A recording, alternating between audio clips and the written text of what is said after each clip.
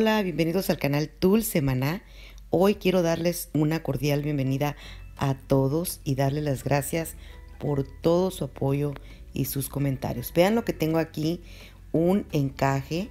Si tú como yo has batallado mucho para tener buenos resultados en los encajes, te animo a que te quedes. Empezamos. Para este encaje comestible voy a estar necesitando dos cucharaditas de Tylos y en peso serían más o menos como 8 gramos.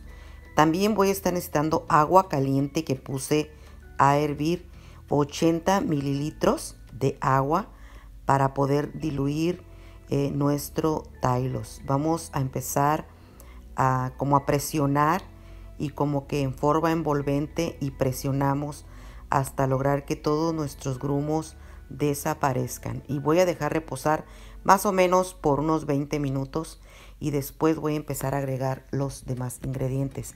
Aquí estoy agregando 10 gramos de maicena o de cornstarch y 10 gramos de azúcar glass. Aquí, este que tengo aquí, voy a estar utilizando glicerina comestible.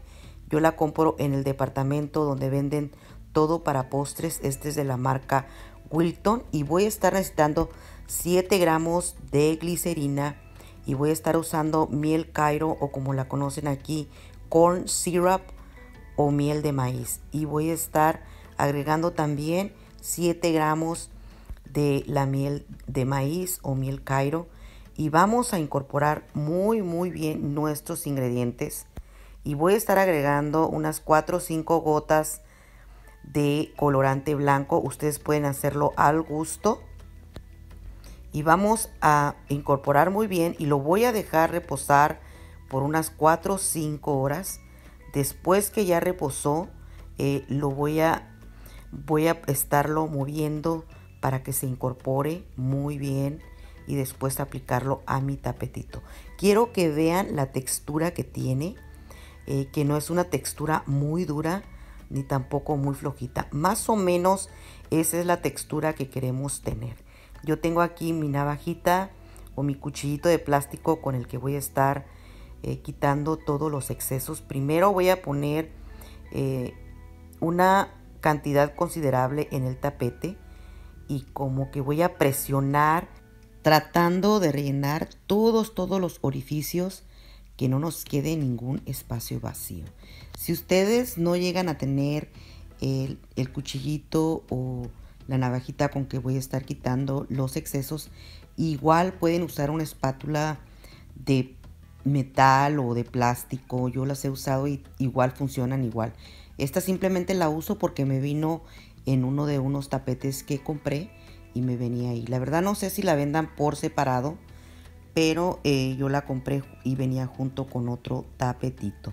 Y vamos a quitar todos los excesos y, si ustedes de repente ven que les hace falta en algún espacio, agreguen un, un poquito más, así como lo estoy haciendo aquí y después van eliminando los excesos. Queremos que nuestro tapete quede muy, muy bien cubierto. Después de esto vamos a dejar reposar 24 horas a temperatura ambiente, pero el tiempo del secado va a depender del lugar donde vivan y de la humedad que exista. También traté de hacerlo en el horno, pero no me gustó. Ustedes también lo pueden intentar. Aquí ya pasó el tiempo del secado y lo voy a estar haciendo con cuidado porque ya que este tapete no tiene uniformemente eh, las cavidades, en algunas partes es muy fácil que la saque como aquí y en otras tengo que irme con mucho cuidadito porque está un poco más, son un poco más pequeñas las cavidades. Eh, vean, poco a poco lo voy sacando. En algunas fácil, más fácil de salir y en otras con mucho más cuidado. Pero vale la pena porque la verdad es que la textura es muy bonita y muy estable y te dura por mucho tiempo. Yo lo intenté hacer en el horno, más o menos la temperatura más baja, como por 10, 12 minutos. Pero ahí también tienen que jugar y ver eh, qué es lo que le funciona en el tiempo. Todo tiene que ver el lugar donde vivan. A mí me gustó más a temperatura ambiente, me gustó más la textura como queda y por eso es que prefiero darme el tiempo y tener paciencia para hacer esto. Vean la textura, miren, la voy a envolver, apretar y queda prácticamente igual. Esta sí tiene textura de encaje, vean eh, qué bonita se ve. Yo, miren las cavidades, como ven, unas son más profundas que otras. Este tapetito eh, sí es muy diferente a otros que tienen las cavidades iguales y salen mucho más rápido.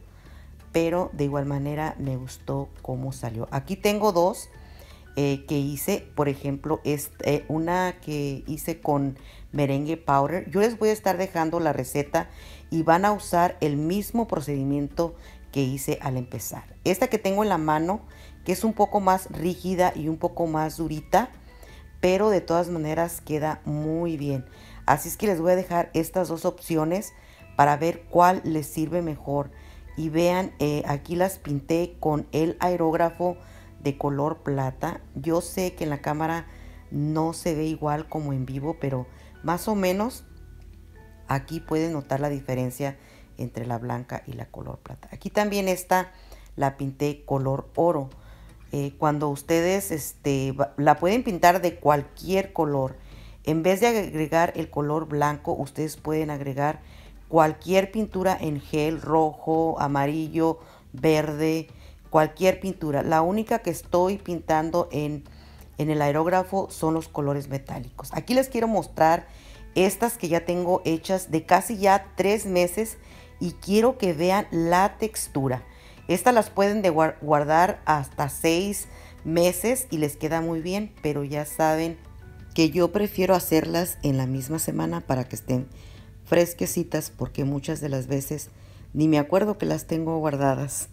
No sé si les pasa eso a ustedes. Vean qué bien se conservan. Bueno, no me queda más que darle las gracias y si eres nueva te animo a que te suscribas, me regales un like y compartas. Bendiciones.